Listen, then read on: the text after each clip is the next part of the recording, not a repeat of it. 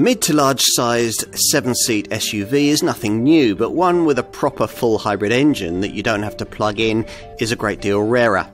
That's what's on offer from Toyota's Highlander. Does any car in this class make more sense than this one? That's what we're here to find out. Basically, the engineering here is borrowed from a Toyota Camry, including the TNGA K global architecture platform and the 2.5 litre Atkinson cycle full hybrid petrol engine, which features electric motors mounted on both axles. Uh, the rear motor operates the variable all wheel drive system, although you shouldn't consider uh, this to be a really capable off roader. Uh, choose a Land Cruiser if you want that. Light tracks are well within this Highlander's remit, though. Uh, indeed, there is a selectable trail function amongst the driving modes. Uh, in addition, uh, there's an electric only EV mode. Uh, that won't take you actually very far, uh, just over a mile, but it does differentiate this Toyota's full hybrid power plant from the mild hybrid units, which can never run independently on electric power. Full hybrid tech isn't about zero emissions range buy Toyota's RAV4 plug-in model for that. Instead, it's about electrified elements constantly chipping in to help the petrol power plant. And that happens to such a large extent that for large chunks of time in urban driving, as in a Prius, you won't be consuming any fuel at all. The four cylinder engine develops 245 brake horsepower and it works via a CVT auto gearbox, uh, changes for which you can speed up by selecting an available sport mode. The two ton towing capacity isn't quite as good as you'll get on a comparable diesel model, but it's much better than rival full hybrid models from Kia and Hyundai can manage in this segment. As for efficiency, well, there's a best of 39.7 mpg on the combined cycle and up to 160 grams per kilometre of CO2. There is something of a Land Cruiser look here, but also the feel of the kind of big American SUV that this Highland is trying to be. Under the skin, its car-like monocoque construction is a cut above lumbering stateside 4x4s, but it certainly has that kind of imposing, although not especially memorable, pavement presence. Especially here at the front, where this big, bluff, trapezoidally shaped grille dominates. Its uh, Toyota badged chrome strip is almost an afterthought. It's just the sort of thing that's perfect for the parking lot at Walmart. You will need a pretty big space though. This Highlander measures in at only a fraction under 5 metres in length. At the rear, you get a feel for this car's substantial width, 1930 millimetres, and its height, 1755 mils. As usual, of course, what's more important is what you can't see. The GA-K monocoque chassis we referenced earlier on. Now, this borrows from the Toyota TNGA global architecture the brand uses these days, and that means it's a world away from the clunky body on frame underpinnings of a Land Cruiser. Stepping up into the driver's seat has something of the feel you'll get with that classic global Toyota SUV, though. as does the feel you get from the way that you're commandingly positioned behind the wheel. Some of that's down not only to the height of your perch, but to the solid durable and rather old school cabin feel.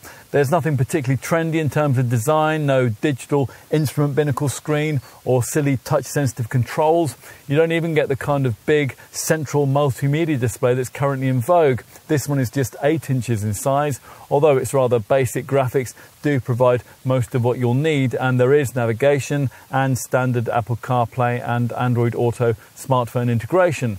Uh, anything that you can't find here will probably feature somewhere in the instrument binnacle that you view through this nice chunky three spoke wheel. Uh, one of the defiantly analog blue needle dials, as usual on a Toyota hybrid, is a hybrid power meter, uh, to the right of which sits a 7 inch TFT multi information screen, and you control that via these buttons on the left hand steering wheel spoke. What else? Um, well, the soft, wide, leather upholstered, heated, and power adjustable seats are the kind of chairs that you'd want for a cruise through the Nevada desert or more likely through the next snowy snap. Uh, there's also great all round visibility. Everything feels built to last. You get lots of cabin stowage, and there are nice touches like a rear view mirror, which uh, doubles as a rearward camera. There's also this sliding top between the seats that eases back to reveal a wireless phone charging pad. Time to take a look in the second row. where the big squashy seats can trundle forwards and backwards over a 180mm range when you pull on these low corner catches. So unless you're having to compromise your position for the sake of those behind, legroom shouldn't be in short supply. Now, cars like this usually require a level of athleticism in reaching their third seating row, which would typically be beyond Granny on her Sunday afternoon trip to the garden centre. But this one's not too bad. You can enter from either side, but there is a wider entrance aperture on the driver's side, and that's accessed after a pull on this seat base catch, which allows you to push the bench forward.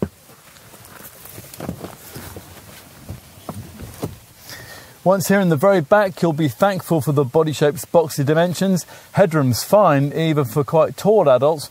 Predictably though, knee and legroom isn't unless you have a particularly accommodating set of passengers who are set ahead of you, uh, who are prepared to move their chairs right forward. So as usual in a seven-seat SUV, uh, this third row is really most appropriate for those of school age. Right, let's finish with a look at the boot, and that's accessed via this power-operated tailgate, although it only gets this a hands-free kick sensor if you stretch up to top spec trim level. Uh, the hatch creaks open at arthritic speed to reveal a 268 litre space when all three seating rows are in place, or 332 litres if you load up to the roof. Will the hybrid drive system compromise luggage capacity compared to the class norm, though, once you start folding seats? Well, not really. Uh, most of the time, of course, you're going to be using this car with these third row pews folded into the floor, which gives you a 579 litre boot with the middle bench slid to its rearmost point, or 658 litres if the bench is in its mid position. It's 865 litres if you load up to the roof. Fold the centre row down as well, the seat back splits 60-40 and you can increase capacity to 1,177 litres or 1,909 if you load up to the roof. This car's not exciting, but there are loads of sensible reasons why you might want one diesel like fuel returns and emissions without diesel like tax and running cost drawbacks, an interior unaffected by battery placement, unlike many rival PHEV crossovers, and the fact that superb refinement and strong equipment levels also come included. We still wish the Highlander was slightly more affordable and a bit more engaging to drive, but we would understand completely if you wanted one. There really is nothing quite like it in segment, and as selling points go, that's a pretty good place to start.